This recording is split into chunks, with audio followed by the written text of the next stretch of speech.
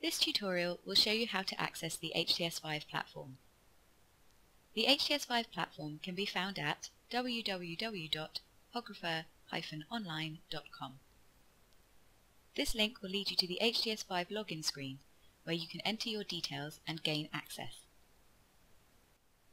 Also on this screen, you can choose the system language using this drop-down menu here. There are currently 14 languages available. Another function on this screen is this button here. By clicking on it you can find information about system requirements, privacy information and customer support.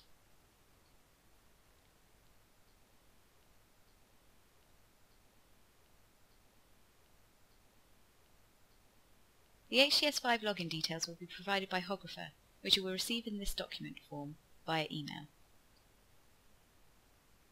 To log in, enter the account name provided, which can be found here.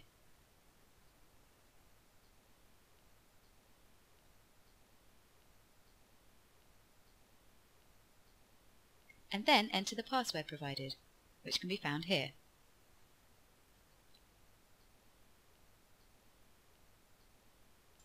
After you have entered your details, click on the login button and you will be directed to the home screen of HTS5.